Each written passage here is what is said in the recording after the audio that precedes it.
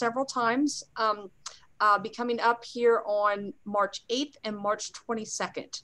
So um, once again, I am I am humbled by the community's engagement in in this process, and uh, really, wow, we've got like you know uh, 40 participants here, and uh, Jenny will be sharing some of the the numbers that we've uh, been able to interact with people over social media and emails, etc. And I am always just very very grateful for people who take time out of their busy lives to to engage with us or really you know any um, uh, local government to have you know give us your input and help us shape shape the future um, I'd like to start this meeting uh, reminding folks that the Port of Olympia is a special purpose local um, district of local government and that we really live with a foot in both worlds. So we are a mission driven organization and we have all the duties that go along with being being a public agency.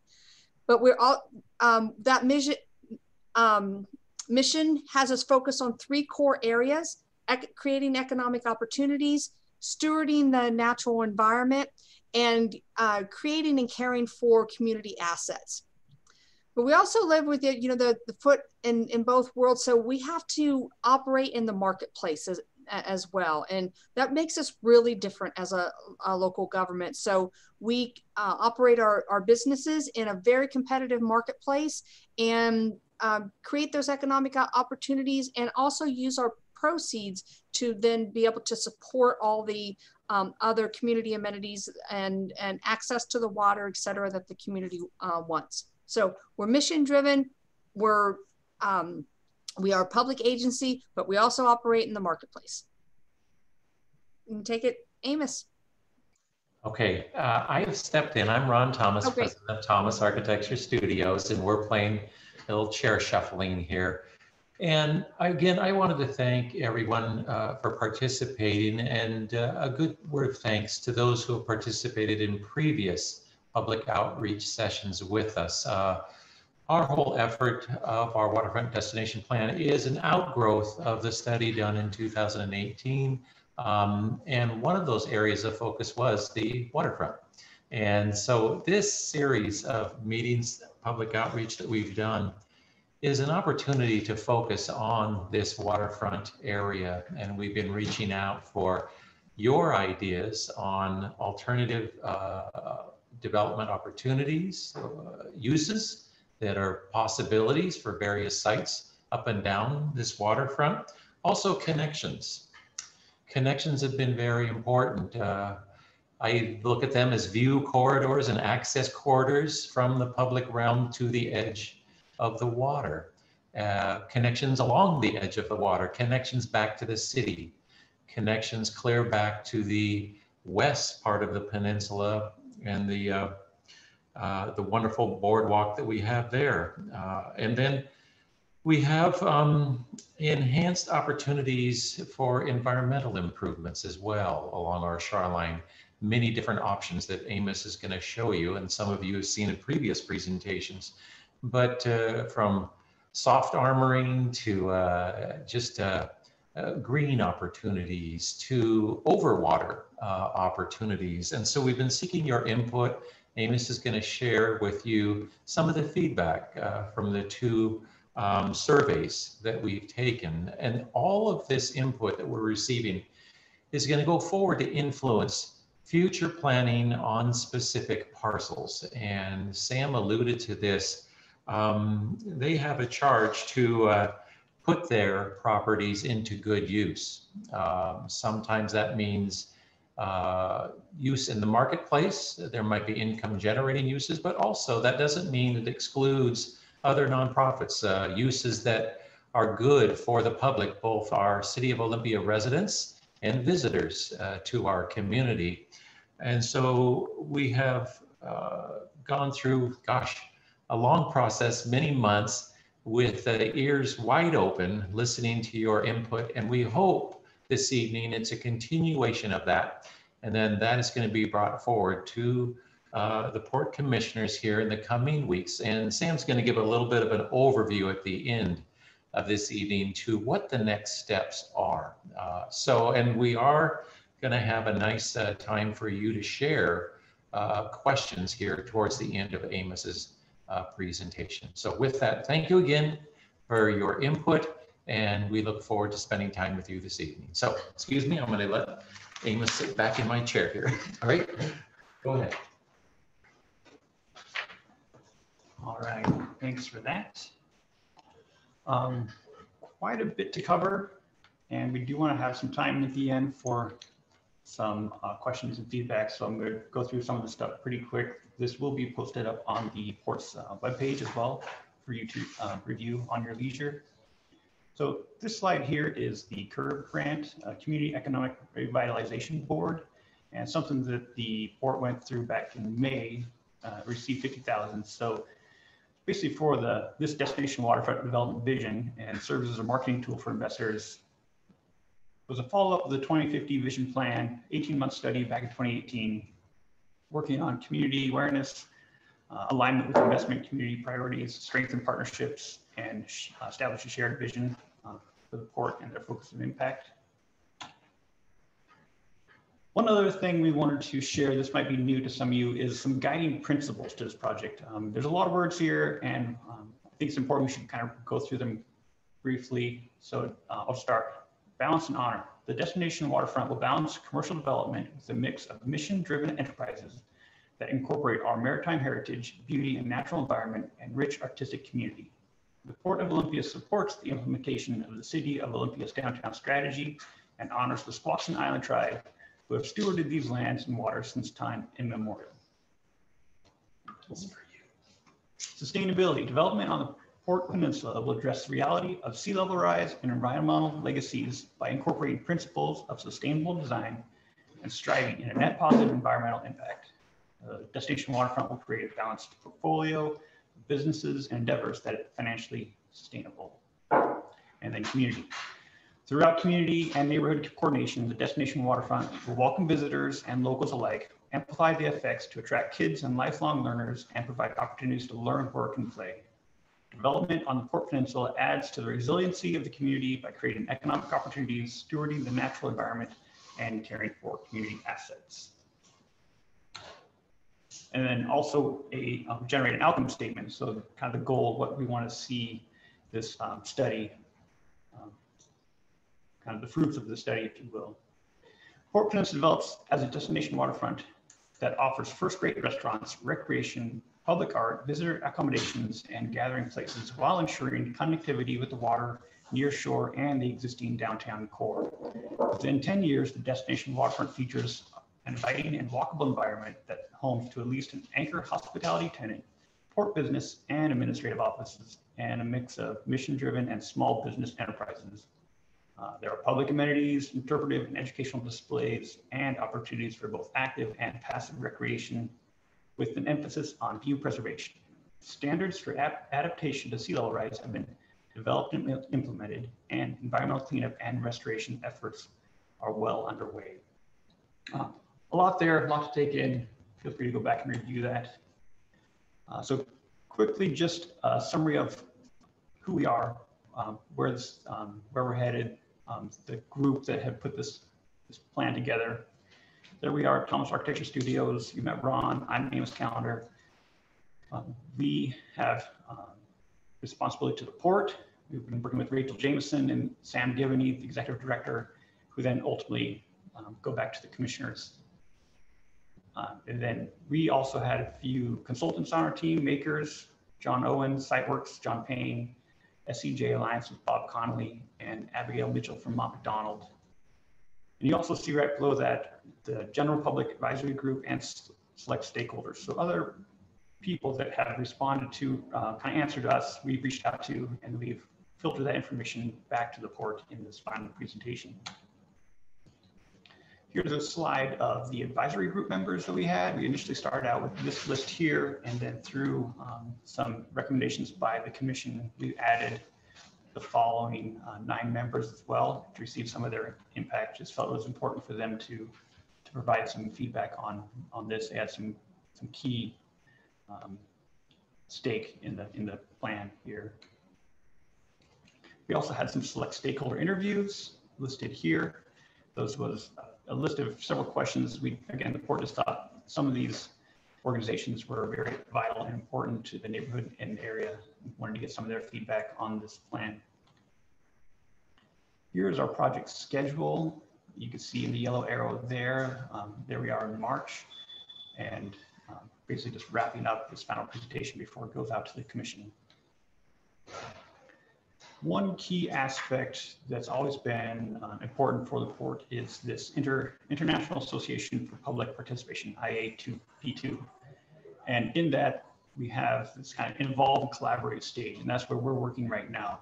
So you can see kind of aspects, but really trying to get the public feedback, um, be part of that process, working together with the community to make sure we're, we're hearing what they're having to say and, and collaborating with them. Here's a brief summary of our public outreach. So you can see here, we've actually uh, had 11,000, over 11,000 social media outreaches. Excuse me for a second. Uh, we had almost 400 public meeting participants and well over 3,000 uh, email contacts. So we've definitely um, done all we could for the most part to get the word out and get some public feedback. Here you can see some of the schedules that we've put together for those, the red public outreach meetings, the blue advisory board meetings, and then select stakeholders and commission meetings. So started back in October and wrapping up here in, in March. We also uh, sent out two different public surveys. Uh, you can see the results there, the number of participants, 440, survey one, 385 in survey two, and then uh, now I just want to go over basically the uh, public input summary. So this is survey number one. All this is on the port's website, so you can go through this in more detail at your leisure. So I just want to click through these pretty quick. Uh, a lot of people were familiar with the 2050 vision plan from survey one. Some of the big takeaways here being the waterfront destination development plan would achieve. They wanted it to be a community hub, a tourist destination incorporate a museum or uh, provide open space, also consider a business center or maybe um, focus on some environmental sustainability aspects. This one is regarding to uh, opportunities for development they should consider. Art and entertainment was high on the list, business center, mixed use, public access, recreation, um, kind of tapers down into considering housing, lodging, RV, as other things that needed to be looked at. Question five, uh, public access to water. Uh, a lot of the public wanted to see a small boat resource, extend a walking trail, incorporate public parks, community space. And again, you see this kind of recurring theme of consider environmental stewardship and remediation. Question number six, how should the area look in 60 years? Uh, they wanted to see great public access, uh, public spaces, parks, increase small business opportunities, uh, connection to downtown, environmental remediation, provide opportunities for mixed use, and also increase uh, recreation and tourism in this area. Question seven, what opportunities would benefit the community? Here you can see things like public access amenities, education museum, small boat, or small business, uh, more arts and entertainment, and then a sailing boating center was also on the list. And a few other takeaways from the survey uh, they want to be collaborative with neighbors community, maintain awareness, provide uh, community multi-use space, maritime, environmental, cultural space, ensure environmental and financial sustainability, provide outdoor public spaces, concerns about tourist accommodations, and concerns about proposed uses within the context of each site. Survey number one was very um, kind of open-ended, a lot of opportunity for just typed in comments. So we took all this information, boiled it down. That's what you saw was kind of the, the key phrase summary of, of that um, feedback that we, re we received. Survey number two was a little more um, graphic oriented, a lot of click type questions to be answered. Um, so here you can see just asking how familiar were they with the uh, waterfront destination development plan and about 44% were somewhat familiar, and then a little over half did not participate um, in survey number one, 41% did. And then this question was about access to water. You can see we had some graphic images and the response was um, pretty consistent among the three of a small watercraft launch, bench wall, or promenade boardwalk is the kind of the top three ways to access water that the public wanted to see. Number four questions regarding the uh, children's play structure within these sites. How important was that? And you can see three and a half out of five stars. So somewhat important to the public to see some sort of play structure on these sites. Question five was about potential shoreline improvements, which options they prefer the most. You can see on the left there that 48% wanted to see some sort of living shoreline. And we'll get into what some of the other shoreline improvements might be uh, a little bit later in this presentation. Uh, rock, uh, reinforced earth, bulkhead seawall is also lower on the list. Question six was a rank and order preference, a style of architecture that could be best suited for this area and pick your top three favorite styles. You can see by far Pacific Northwest was the favorite style. Uh, Longhouse was also higher on the list. Craftsman Industrial started to kind of taper in there. There was also traditional, neo-traditional, and contemporary were some other options that didn't receive as many points. And then this one was about uh, relating paths and connectors in development areas. So how does people get from the path, the Billy Frank Jr. Trail, from this destination, um, all these little individual sites, how do they get from that back to the public, down to downtown, what those connectors? And so the boardwalk was one of those um, paths and connectors that was highly rated and tree lined as well as a combined bike pedestrian path. Other options like paved open, separated, or crushed stone were, were on the list concrete open area, uh, pavers, so some sort of paver system or landscaped and paved infill. Paved infill was pretty low. That's a very densely populated. You kind of got the sense from the, the public that they didn't want to see a lot of uh, dense infill on these sites. This question was in regards to options for an event gathering space. And of the five there, covered wood was by far the number one choice. Uh, covered steel was also uh, an option, but uh, public sent a, a, very clear message what they'd like to see for some sort of event gathering space that could host um, weddings or other kind of public rental type events where they can get together and have meetings. Question nine was about gateways and connectors, and I have a slide a little bit later that will show some uh, graphics and images of this. Um, but Barber Archway was the preferred choice. Plaza open area was pretty close next to that. Uh, there was informational signage, sculptural signs, artistic markings in the sidewalks or um, walkways was also an option. You can see they went down into the negative, and this was kind of a, a graded scale of things I liked most, things I liked least. So if you liked least, it got some negative points. So you see Beacon actually get pretty low in, in scoring there. This slide basically sharing how we are incorporating some of the feedback we received into this presentation. So through the process, we were asked to provide additional meetings added to the project schedule. Uh, the commission saw the value in that, and we extended our meetings and added, um, they felt another month to the schedule and a few more meetings as well to reach out and get the feedback. Uh, longer outreach process. So uh, we talked about schedule there, but also in the surveys, we extended those surveys out as well. They had a certain set uh, end time, but we extended that to get uh, cast a broader net of feedback. Ensure, ensure environmental and financial sustainability. So we talked about this, I think it was back in public outreach number two about environmental and financial um, requirements and, and, abilities of the port. And we can get into some of that a little bit further. Uh, transparency, just wanted to be very open and transparent about um, the process, how it's um, happening. So we created a project webpage, which establishes all the meetings, presentations, all the data that's been gathered. It's posted on that webpage for the public to access and see.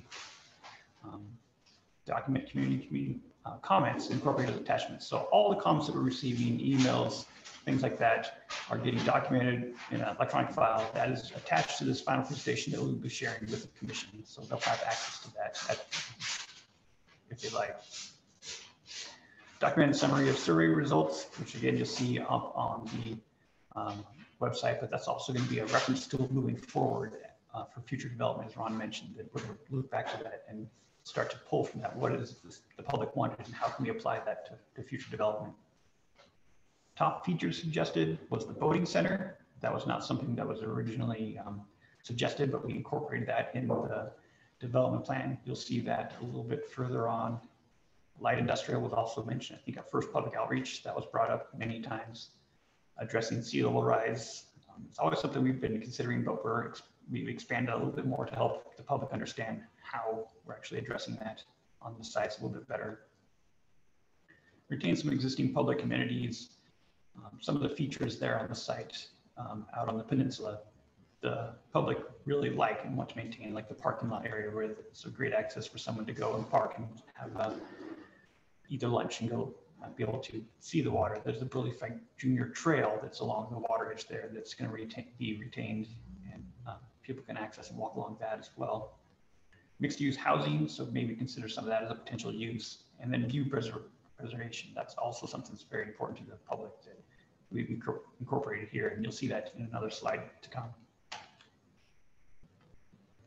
So now take a minute, we'll talk about zoning and sea level rise.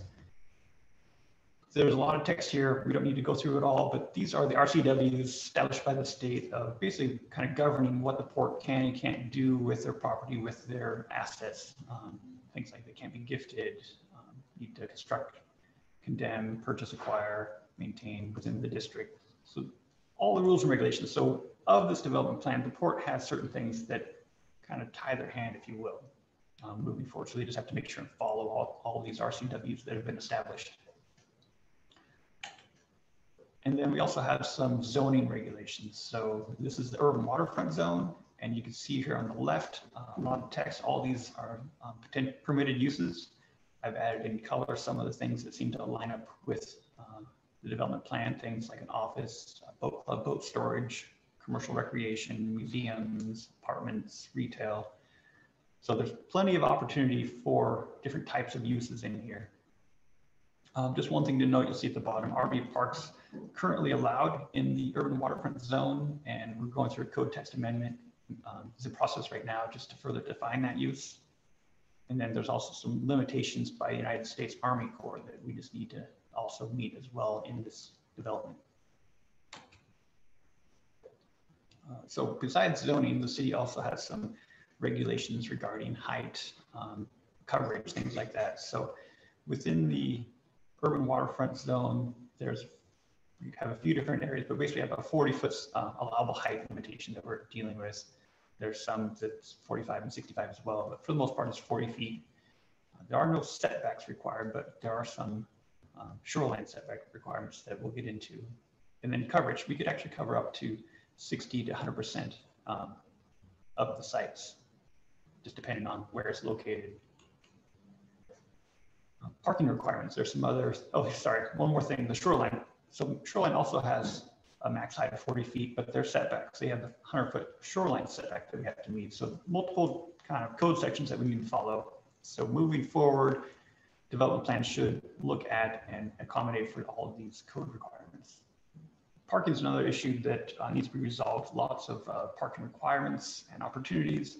You can see on the map on the right, some hatched area. That is actually uh, exempt parking area for city municipal code. So there's some um, potential to take advantage of that, but also you can see some of the parking requirements listed below, depending on the type of use that might go in into that space.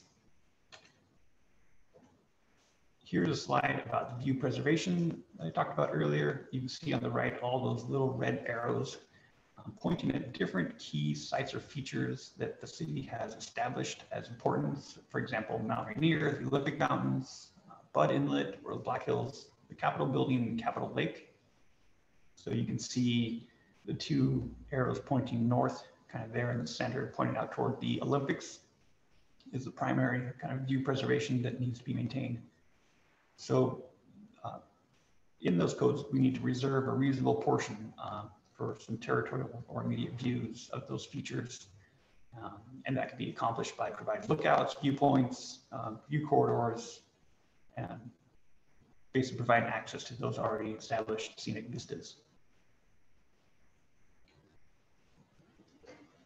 And then looking at sea level rise, here's a slide of an example. This was actually taken from a report put together by the city in conjunction with the port and with LOTT. And basically how to address sea level rise. There's some, some key features like a raised street, raised landscaping on the top right of flood wall. You can see another option like uh, bottom left, raised buildings, living shoreline, and even temporary. Uh, temporary, kind of a odd name, but basically temporary could be a, a permanent system that just is deployed temporarily when sea level rise. When water comes up, deploy the barrier, and water goes down, that's, that little gray barrier can be removed and um, returned to operation. You can see on the right an example of how to address some of that, maybe with a boardwalk or a, proposed wall that might cover some of that um, sea level rise. And then here's another slide with another example up on the top left. Um, you can imagine that might be like the Billy Frank Jr. Trail that during normal conditions, that's a walkable path, but in the event of sea level rise, the raised landscape would protect the rest of the peninsula from, from the waters coming in. Bottom left be another example of some living shoreline, or on the bottom right, a more hardened type approach. So I think looking at this needs to be addressed um, on a site specific level that I don't think there's one solution that's going to answer or solve sea level rise for, for the whole peninsula. So you can see here uh, various examples like uh, up on the top right, that long green bar uh, currently over site H, uh, a living shoreline that we're proposing might be a great spot for that, that particular site. Uh, very limited in development area, it's long and skinny, not a lot of building can go there. So there's a potential that a living shoreline would be a good use for that, a good um, measure to deploy on that site. They're kind of on the edge of site E, F and G. Maybe that's a combination of living shoreline and or a raised landscape area. As you march further to the north along site C and site D, uh, I see some potential for some flood walls. There might be more need to provide a harder edge along the marina there so people can access um, onto those slips, uh, gain access to boats and the boat launch there. You can see um, there at the boat launch on the kind of top left of the, the image uh, with that red bar, pink bar. So maybe there's some sort of temporary rapid deployment system um, at that boat launch that could, could protect the inland um, from water coming in. There's other features like raised streets. There's not a lot of opportunity here. That street's already established, but it's not out of the picture. So maybe there alongside B, which has already been elevated, there's a potential that a raised street could, could be addressed there. Um, you also can see out at the point um, site OW-1 over water 1 and down at the bottom of that over water 2 in blue uh, raised buildings. So getting the buildings up off the water. You can already see that's actually a photo of KGY radio station, which is already on over water site 1. Um, there's that bottom portion, which is the terminal. That's not in our scope of study, but just looking at some potential um, sea level rise issues because it does have to um, be protected from all sides from water coming in. So maybe that, again, some sort of flood wall system that is deployed, uh, set into play at some point. So now I'd like to jump into the development site plans. These are the individual sites that we've established. So looking at the area in pink, you can see um, bottom left, our site one and two, we got site A and then marching around to the top right, all the way up to site I. And then inland, we have site um, J and IJ and K. And I'll get through some of those and explain each of those sites a little bit further, what some proposed uses might be for those particular sites. This slide is explaining some of the linkages and the plans, um, how we're going to connect people uh, as they either are on these sites, there's some development happening, they're they're visiting, they're they're there on those individual sites. How do they get back to and connect with the rest of downtown? So you can see just marching along the shoreline there, that's the Billy Frank Jr. Trail. So that's one connector that basically goes from the point all the way back to the uh, south um, of the inlet there and then connected to those at um, key points in between each of those sites, we're looking at some sort of connector or linkage that you saw earlier as part of one of the survey questions, but what does that linkage look like? So we strategically try to place those in between those sites to provide ample opportunity for public to access from the water back to inland to get to downtown. You can see also in the blue dotted line there, that is the proposed uh, protected bike lane the city of Olympia is moving forward with. So that's a key north-south connector for bikes and pedestrians. And then in purple might be more of a, say, vehicular traffic type connector. But we do see a lot of that connection coming from the south down on kind of the main state and, and um, capital streets connecting along Capitol Way back to the farmer's market and then out to the east towards the, the rest of the peninsula and to where this destination development plan is kind of set up. So that's the, the main flow of traffic and looking at how we can uh, establish those linkages and gateways to, to draw people in and allow them to get back to the downtown area. Here's a map explaining kind of some distances. So connecting the center of this destination development plan. You can see the quarter mile, half mile, all the way up to one mile um, and some estimated times. So within a three to five minute walk, you can get to a lot of the downtown area. Um, most of that means those two main connector streets at half mile. So that's about 10 minute walk. So 10 minutes, you can get to most of the businesses in downtown and even some adventurous people um, within 15 or 20 minutes could walk from that site up to the, the Capitol building, for example. So definitely a walkable, connectable type location that, that really is um, great for this kind of development or future development. Here are some example photos of those gateways and connectors. This was from survey number two, and you can see on the bottom left, Arbor Archway. That was the preferred choice by the public. And then second place, second choice came in as the plaza or open area. And then a third choice was informational signage. And the port is actually currently working on some signage along the Billy Frank Jr. Trail um, as part of that. So this might actually tie in well with, with what they've currently working on. Here's a blow up. So this is site A on the kind of north point, if you will. You can see um, just to north of that is actually the KGY site. But here's a breakdown of each site. Um, so it gives kind of area, current use, which this site is a parking area with an office building or undeveloped site, then we also list some potential uses. So a hotel or mixed use or even a cultural center, cultural center might be a great opportunity for this particular site. We established the zoning, uh, allowable heights that have been established by the municipal code, any kind of setbacks, shoreline setbacks, and allowable coverage. So the idea is that this is kind of a marketable piece that port can take and, and give to potential developers and kind of solicit interest in, in these areas.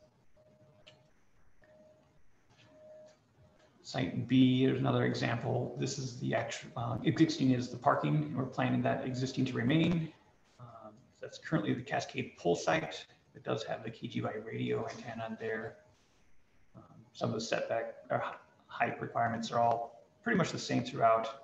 But yeah, for the most part, this current we're proposing as existing to remain. There's um, key community feature parking requirements for the boat launch that uh, I think this site serves pretty well.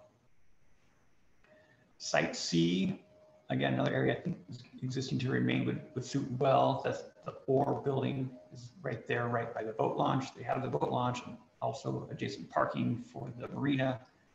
So not a lot of area uh, potential use for here except for existing as is.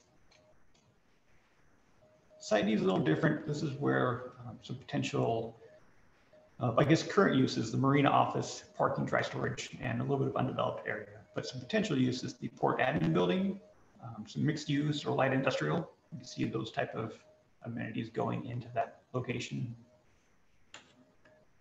Site E, that's currently an undeveloped site. There's a proposed use right now for RV resort, um, but some other potential uses would be mixed use, light industrial, small watercraft launch, for example, um, this RV resort, for example, is one thing where it's a pretty quick, easy type project that could go in and then future, it doesn't limit uh, future development from coming along. If say a, a different idea uh, comes into play, that might take precedent over an RV site or the return on investment for something like an RV site might be small enough where within a, a handful of years, um, they could get that return and then be able to move on to a different type of use or development in that site. Site F, that's known as a boatworks site, uh, marine supply, warehouse. Uh, no proposed changes for that particular site uh, existing remain. Site G, that's just on the inland side of Boatworks. It's currently undeveloped, but there's some potential maybe for mixed use or dry storage, um, depending on site setbacks and uh, building size, even uh, light industrial might fit within that space.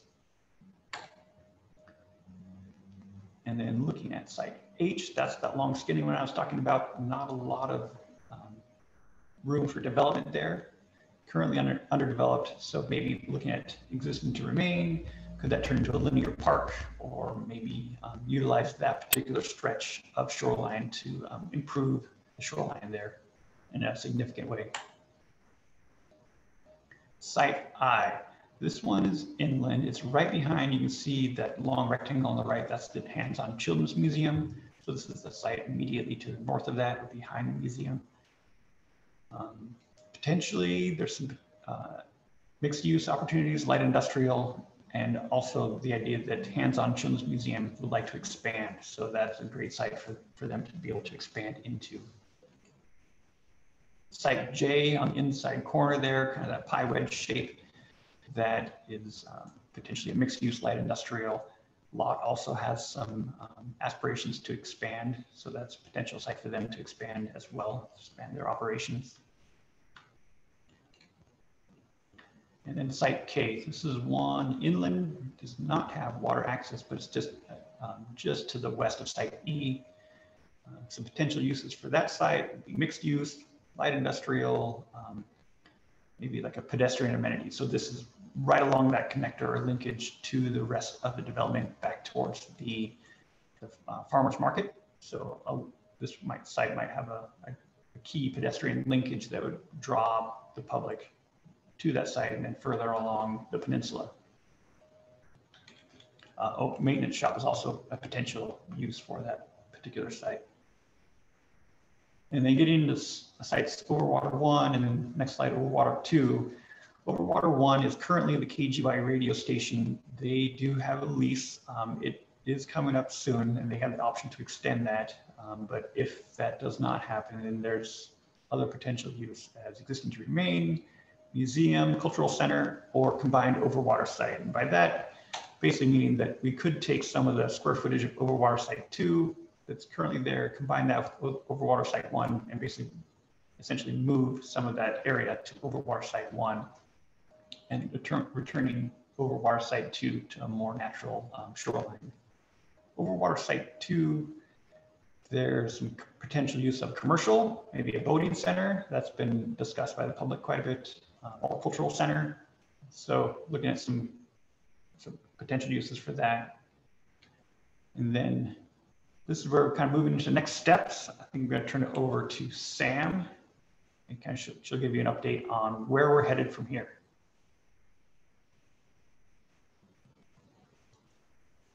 Great, thanks, Amos. And um, I also want to introduce myself. I, I, neglected to do that at the beginning. So for those of you who don't know me, I am Sam Gibboney and I'm the executive director of the Port of Olympia. So um, uh, apologies for not doing, uh, making that introduction earlier. So, you know, um, wh what happens next? I, I mean, I, uh, first I think I'd like to um, really start with one of the expressions that I use internally with um, uh, the, the staff quite frequently. And that is when I believe that when we engage the public in, in a manner that we've done here, where we really have asked people to step up and give their time, their attention, their creativity, and to really in, engage with us in a um, thoughtful and caring manner, that when the results of that uh, come back, it is incumbent upon us as a as a public agency and really as your local port to accept those results with grace and gratitude. and that's really the the, the sentiment that um, I'll be uh, carrying forward to as we uh, take this destination waterfront vision to, to the uh, Port Commission. And that, that is the next step for us is to take it to the Port Commission for their consideration. If they then um, uh, accept that, then we start to begin the, the, the uh, continued work of our port planning. And that includes everything from developing a capital plan, which goes into our budgeting process. And you know, there, there's some some things of um, bureaucracy that that we have to do that really are part of what we're called upon to do in a transparent manner as a as a public agency. And I mm-hmm. also want to talk about like, you know, I in my vocabulary and Sam Gibboney's vocabulary, bureaucracy is not a bad word.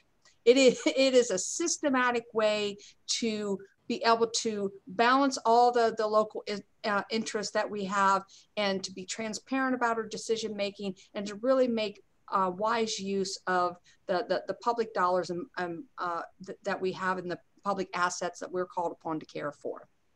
So I first want to thank everyone for for their uh, participation in this. And you know, we have a couple pages of quotes. We asked people like, okay, really, how how was this process? You know, were we inclusive? Did we reach out to a uh, diversity of, of stakeholders? I think that we have, and and I hope that the that that everyone on this call and the public can see is that you know we have we have taken a lot of things in and I think one of the most important measure is that your input has changed our thinking. It, it really and it, it, has changed some of the things that we're, we're focusing on and where we think we're going. And just as an example of, I think when we started this process, we knew there was kind of some interest in a, in a boating center, but that has really crystallized a, a, a lot more.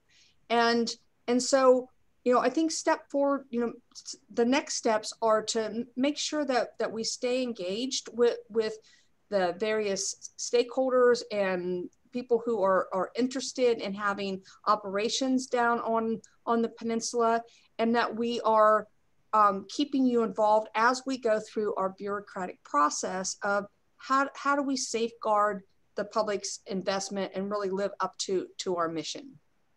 Um, we will be having uh, uh, taken to the public, the, to, to the commission in two public meetings, our regular meetings on March 8th and then the 22nd. Uh, we'll be accepting uh, public comment as we normally do at those meetings. So I really uh, encourage you to participate um, one more time.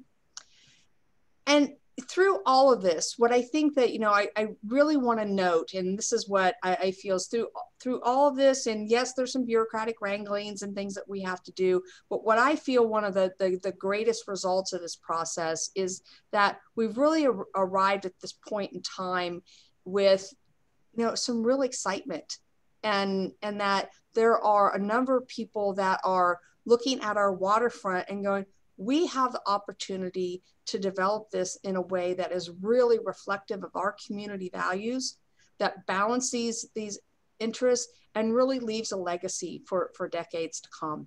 And that is super exciting. It's also humbling. And you know but but here we are and i think that this process has has done a good job of capturing the talent and the imagination of, of this community and i for one am uh, grateful that you have joined us and grateful for what happens uh, to see what um, comes next because i think with this amount of, of talent and perseverance that we can um, continue to advocate for resources outside of our community to help us achieve this vision. So thank you so much. Thank you for that, Sam. So um, again, final commission presentation Monday, March 8th, and again, follow up on the 22nd. I went through that slide pretty quick. There's a lot of material. Um, if there's something that you want me to go back and reference to expand upon, happy to do so. We have a few minutes left, so I'd like to open it up for any kind of comments or feedback from the public at this time, unless there's something else from the team you wanted to share. Yeah, and, and Amos, if you just want to, I, I you, you may have done this already, but um, Amos and I are, we will stay on this call. We, you know, we want to be able to allow people to um, uh, sign off at the appointed time. But if you want to stay on and have uh, ask questions or make comments, uh, Amos and I are, are committed to uh, uh, staying until we get uh, get through everyone. Thank you. So feel free to raise your hand or issue your question. We also can receive some by chat, so we'll go through the chat comments and questions as well. Amos, can you hear me? Yes. This is Richard Wolf. I've got a, a, suggestion and I got a question for you. Suggestion is um, as you're going through the, the site maps, um, I think it would be very helpful for the commissioners and for the public to see the setbacks mandated by the shoreline master plan.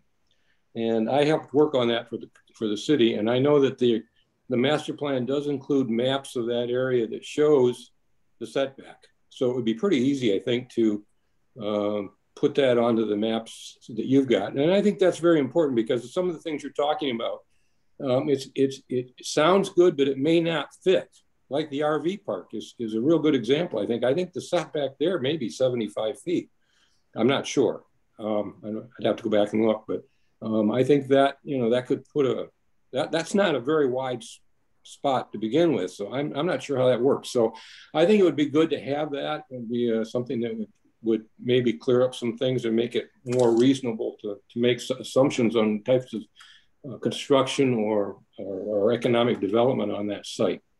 Um, it's enough of that. The other, the other thing I had is I noticed in the surveys that in the first survey, the sailing center was almost dead last. I think it was second to last in, in one place and, and, uh, and fifth or sixth from last in another place. Very low, very low suggestion for sailing center. But then on the next survey, I think it was the next survey, it, said, it came out like it was the fifth most popular. Do you have any insight as to why that that change? Sure. So the survey number one, uh, again, that was basically a lot of open end type, open end type questions that allowed the public to type in their responses. So we waded through all of that data, the 442 some odd responses, nine questions each. We waded through all that data and boiled down um, basically the essential of what we heard from each each comment. And we took away some keywords. So those keywords, if we saw those things reoccur multiple times, then basically said, okay, that that requires some attention. If it was maybe one comment and no other people were kind of lining up with that, that didn't get a recorded here in this particular uh, summary. But when we saw multiple comments, reoccurring theme, then we, we documented that. So example, on this slide, question five, the sailing center looks like it was fifth on the list of uh, ways to improve or provide public access to water. Fourth, yeah. Yeah, fourth. So then moving forward to survey two, let me jump to that. I think it was just more of a, of these options, which do you prefer the most? So then when kind of survey one, it was more open-ended. You could you know, provide any, any kind of amenity that you'd like and request that. Survey two was more specific on of the four or five options, what was your preferred one? And that's where we saw the sailing center start to rise to the top. Can I just jump in quickly? Amos, I'm sorry to interrupt. I may be out of order. But when you look at the basic responses, some of the, there's some overlap. So these are not necessarily mutually exclusive categories.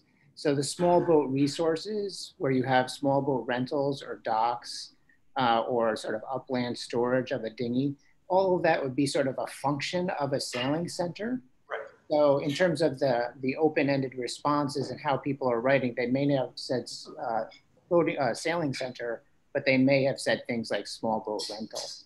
So it sort of combines a fair amount of things when, when people uh, talk about a sailing center. Right. And that was kind of part of when we, we took this information, we then moved that into survey two, thinking, okay, these pieces, they can join together. So moving forward with the sailing center, you're going to get both a small boat resource as well as a sailing center.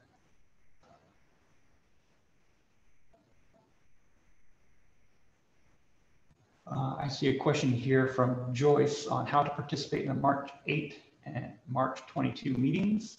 Uh, so the port's website, will be able to, that has that posted up there, but you can find the link um, to, to be part of those meetings. I believe they are at 5:30 on Monday, the, the 8th, and also on the 22nd. So go to the port website and you can, you can click the link and join the meeting there.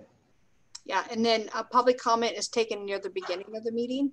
And um, so uh, we do ask if you can, if you can sign up for uh, public comment uh, beforehand. It just helps us to be a little bit more orderly, but we do uh, make sure that um, we, we use the raise uh, hand uh, feature that um, uh, if people want to make comment and they, they didn't have an opportunity to sign up in advance. Amos Paris has his hand raised.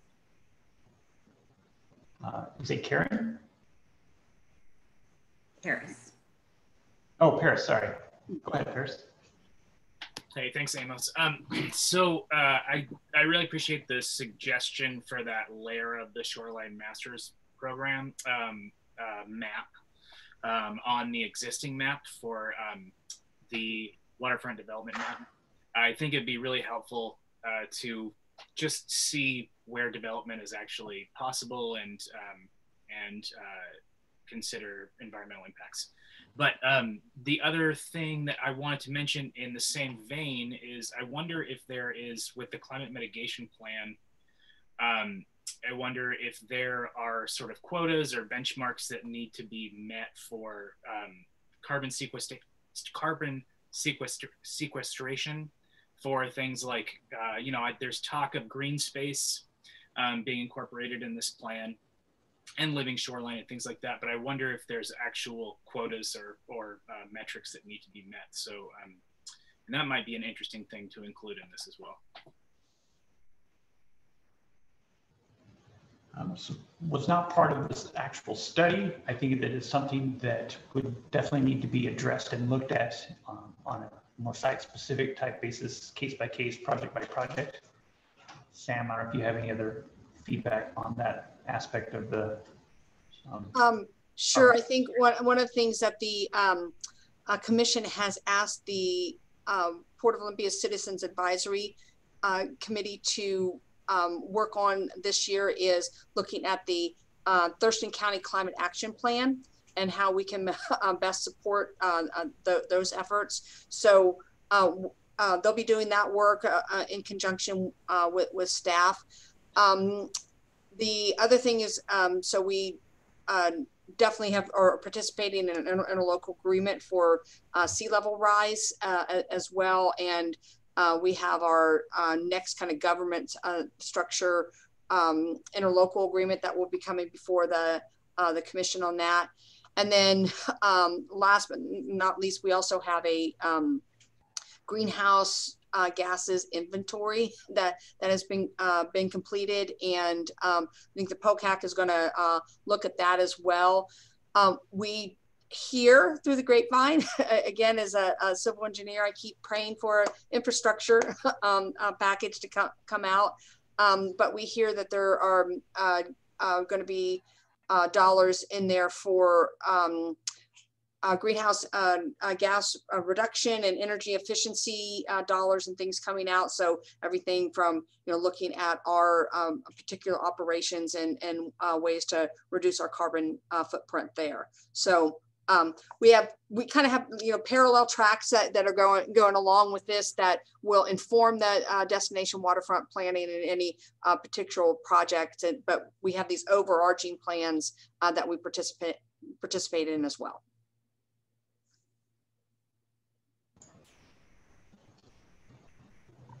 So looking at the clock, it says 6:30. Uh, again, we want to be respectful of people's time. We appreciate you being part of this and listening. And like Sam mentioned, we are sticking around. So if there's more people that wanted to um, offer some co questions, comments, or feedback, feel free to, to stick around and, and connect with us. Um, but I just also wanted to provide an opportunity now if anybody needed to take off or leave, that uh, feel free to do so. Thank you. Amos, I've got uh, Janice's iPad has a hand raised. Okay, Janice.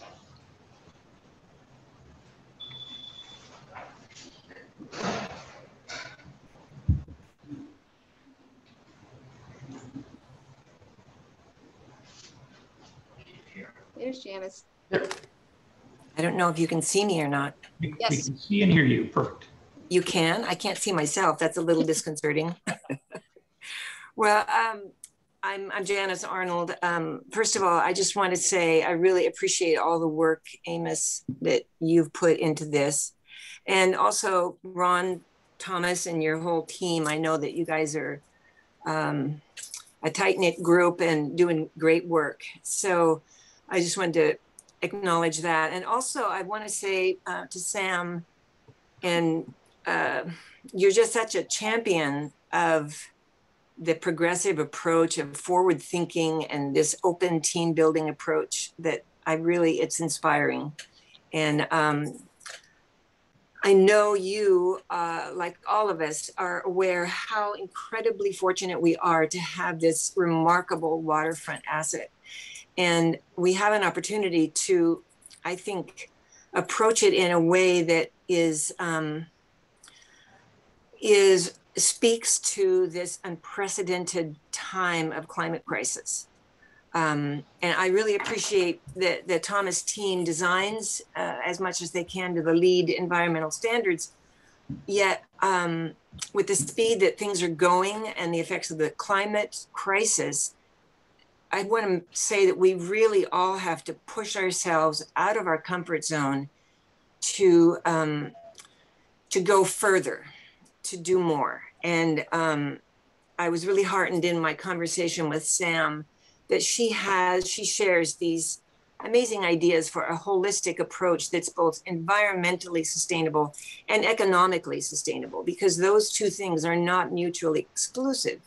They um, can work in consort. And it's a it's a completely new way of looking at developments, I understand, but there is an international foundation based in Seattle that is that exists to support communities and developments like ours that have a model of success that is um, buildings, living buildings, as they're called, are um, being built around the world. And this approach is two, three, fourfold. It's educational, it's environmentally correct beyond our wildest dreams, but also it serves to make a model. You know, Olympia could be a model, our waterfront could be a model for this approach. And while I recognize that it's it's challenging, it is also beneficial to you as architects. I know the um, living building that I worked with in Massachusetts, the architectural firm that worked with them is now getting contracts from from building uh, develop, from developments all over the country because they have experience with this living building approach. And so I really challenge your team to look seriously at this living building model. It's a living community model. And when I spoke to the foundation and when I spoke to Sam, I said, you know, we could have a living waterfront um, approach. So we challenge ourselves to work together. I mean, I'm, as Sam knows, I am invested in supporting this to be something that people travel from all over the country to see how we have succeeded in these um, challenges that we are all going to be facing. So um, I will stop there, but I encourage you to look into the International Living Future Institute in Seattle, Washington. And uh, Amos, I'm happy to connect you with um, people there that I've been speaking with um, about bringing this to Olympia. so thank you for listening to me. All right. Thank you for that, Janice. You are welcome. It looks like uh, Melissa Denton. Uh, Janice, if you could even put a link on the chat session, then maybe others that are interested could see that as well. Sorry, Sorry, uh, I'm not sure if I know how to do that. Um, the chat section. I'm using my iPad and share content. Here we go. Maybe this is it. Hmm. Um, uh, I'm going to switch over to my computer. You can figure it out. You provide it in there. Otherwise, I'll, we I'll figure it out while, while you continue to chat and I'll unmute myself and take the video off. Great. Thank you, Janice. I have a question, um, and I was called on. So I wanted to ask about wildlife We've talked about environment, which sort of obviously relates to wildlife, but um, we have a lot of responsibility to the ocean life and the other life that is around us. And I'm not uh, trying to be preachy about it, but I didn't hear any reference to that. And I wanted to know, I'm, I'm, sure that that's part of the thinking, but I thought it would be really nice to, to bring that out some because uh, we live in, in harmony with other things. And this, this is a place where we're right downtown and we're right on nature. And I just wanted to hear what the thoughts are on that. Sure, I can, uh, I can take that. Um, so I, I think that that is uh, definitely in uh, one of our uh, core focus areas and our, our core resp responsibilities is our, the, the stewarding of the natural environment. And I also think that, that we uh, effectively do that when, when we partner with um, uh, groups that, that do that particularly well. And so um, as we are looking at our uh, uh, one of our first buildings here, which is we're calling the uh, Marine Center. And that would be home to uh, both our administrative offices and, and, the Marina office, but also um, should we receive funding from the legislature, which we are uh, asking for it to be included in the capital budget for this next biennium, would uh, allow us then uh, for it to be home to the estuarium as well. And, and so and as you you're probably familiar with them it lo looks like like you are that is really their mission is to um, to educate people about the and maybe uh, Paris is, is still on here he can probably um, I'll tell you more succinctly what their uh, mission is but to educate people about the unique um, ecosystem that is South Sound here as well as then to connect um, both school age kids as well as lifelong learners to to the shoreline and the uh, uh, natural environment.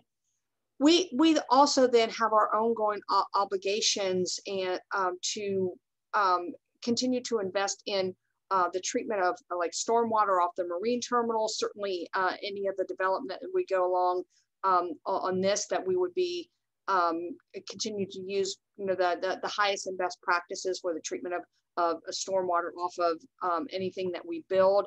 Um, I'm particularly excited about the concept of the, the living shoreline because that's really where that that near, you know, your the, the, the near shore is such this rich, um, literally biologically rich area that I think we can do better in, and we can we can you know uh, look for ways where we have protection from from sea level rise, but it's not just a, a, hard and inhospitable environment.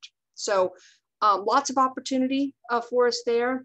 I think then, you know, again, you know, port wide or the industry wide, uh, we also uh, look to uh, our uh, local association, the Washington Public Ports Association, and then we look for ways to partner with our sister ports throughout the Sound. Um, like I, will tell you, just uh, recently we're signing on to a letter for um, quiet sound um, standards for to help protect the the orca population. So um, lots for us to do there, keeping it at, at, at the forefront. Thank you so much.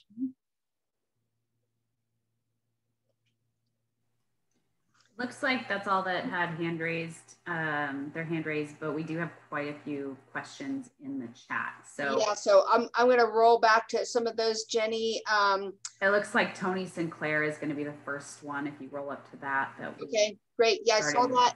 And, and so Tony, we are in receipt of that PowerPoint.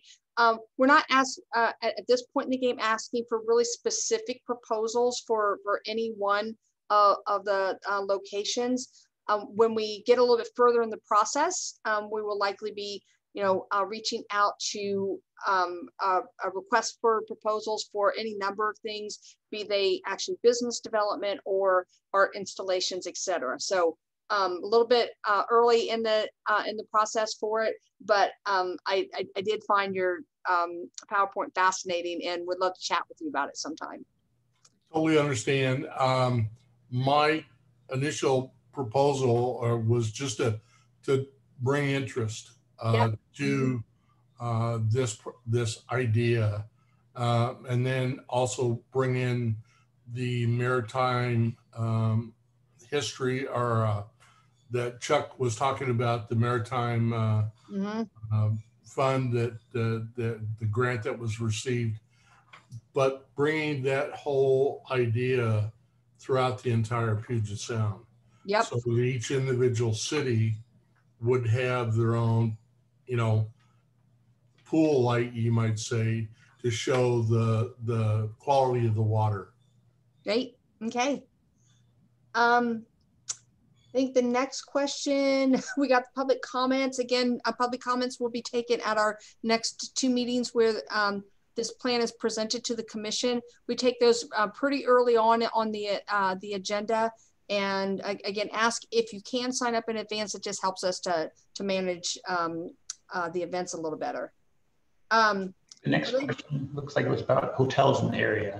Hotels in, in the area. We have been in, in um, uh, contact with um, the um, uh, Olympia Downtown Alliance, and they uh, participated in um, uh, this this planning process on our advisory group.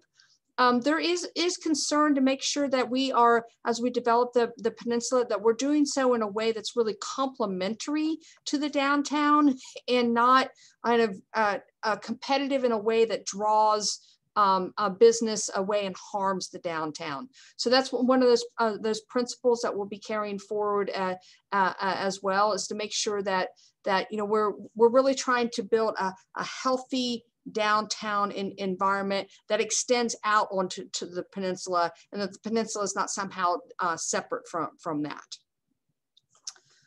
Um, okay, next question.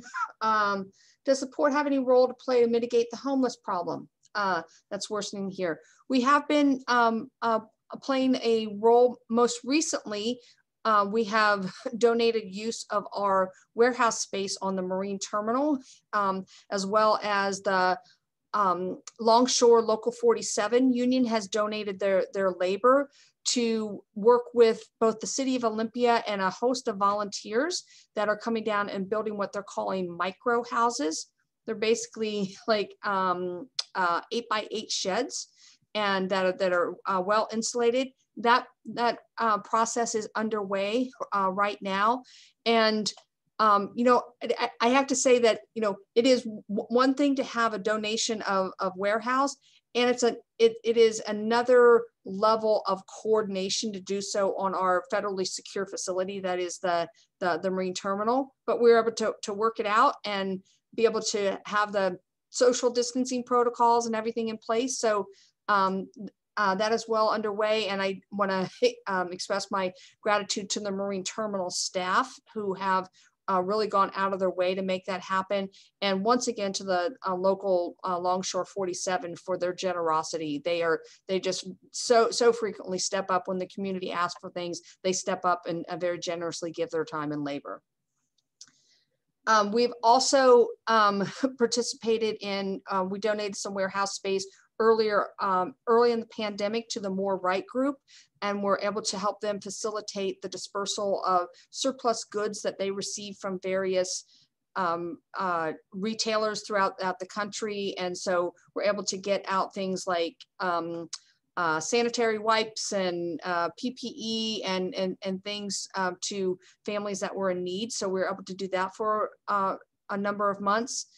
And then we were also able to donate some space out in Tumwater at one of our building, buildings to for the creation of an agricultural hub, which saw the, and, and this was so creative. It was um, uh, received dollars to employ people who were who had lost their jobs due to COVID to help then sort and prepare packages of locally produced um, uh, pro, uh, local produce from local area farms to then go out to families who uh, were, were again had been affected by, by COVID.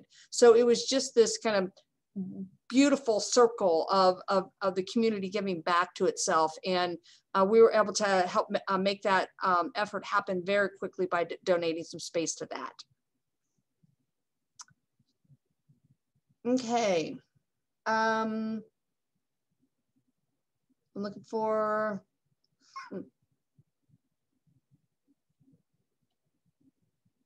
Another question from Carla Wolfsberg. Um, Okay. My understanding, the two surveys that were a little any interest in hotels, so would be surprising if it's still being considered. Um, yeah, I'd say that, you know, somebody asked me earlier today is like, you know, is, is that a done deal? And I said, absolutely not. It's, it, it's not a, not a done deal. And, um, you know, I think that it is, um, uh, there is still quite a bit of uh, in, interest in the marketplace for us, and that tells tells us something.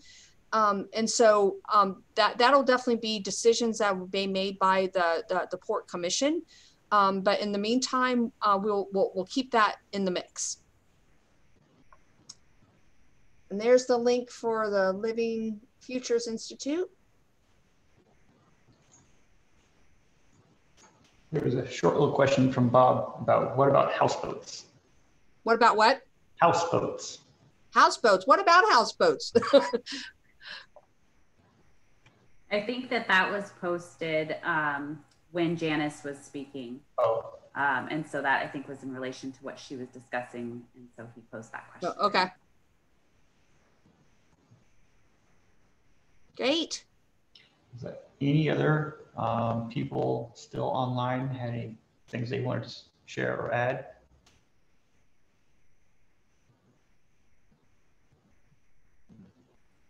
Oh, it looks like Bob just added a clarification in relation to housing for people.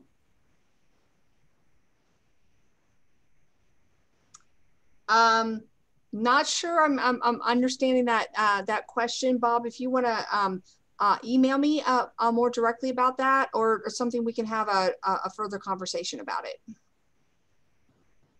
Um, is it okay to just say something? Uh, sure. Yeah, okay, because, well, I thought there was some talk about expanding uh, how many houseboats could be uh, in that area, and I didn't hear anything about it today, so is that true or no? I, I don't know. Yeah, not not in our marina.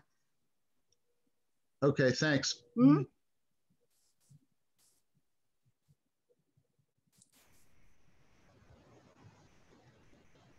Hello, I, I, would like to ask one more thing as long as you're suggesting we can do that. Sure. This is Joyce Mercury. Uh, could you somebody say a little more about that um, site two, I think, which is over there near the port dock that has the dilapidated um, dock on it. Um, is that being kind of, is it being kind of saved maybe to trade for having more overwater somewhere else? Or is there any um, potential option to just remove that and um, create at least some little bit of a habitat there? Um, yeah, we don't have firm plans for, for that. I think that this area has garnered uh, a lot of uh, attention and curiosity for um, its potential utility for a, um, a boating center to pr provide people with uh, access to, to the water. That's that's kind of the, the thing that's risen uh, most to the top.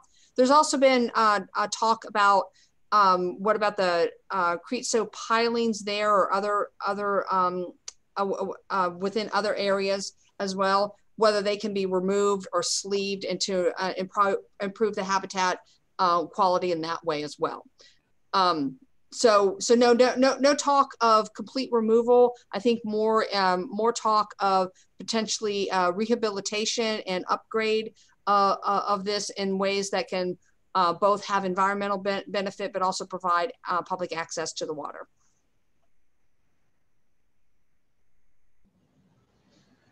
So there's no concern about it being too close to the port ships and stuff?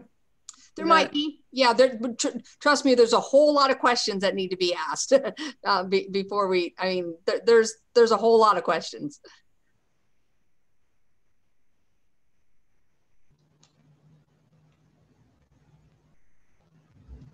Anyone else?